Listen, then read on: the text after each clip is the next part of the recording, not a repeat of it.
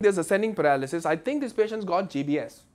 At this point, you're like, well, it could be AIDP, AMAN, or AMSAN. What's your next step to diagnose? You want to do a lumbar puncture, right? Normal next step becomes a lumbar puncture. And on your lumbar puncture, what would you see? Oligoclonal bands is seen in multiple sclerosis, not in GBS. What are you supposed to see? Because everybody loves to say, let's get an LP on the patient's GBS. But what are you looking for? You will have elevated protein.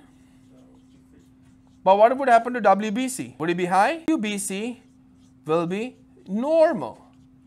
Too slightly elevated. It could be slightly elevated but not significantly elevated. What is this called? It is called albuminocytologic dissociation. Of course, my famous question after this is going to be why? Why is your protein going up in your CSF but not WBC? You see WBC going up in your CSF? When you have meningitis, right? What if I told you your biggest your biggest protector of the brain is truly your meninges. If you don't disrupt your meninges, you don't disrupt your blood-brain barrier. Here, in a patient with GBS, are you affecting meninges? No. So your blood-brain barrier is not broken.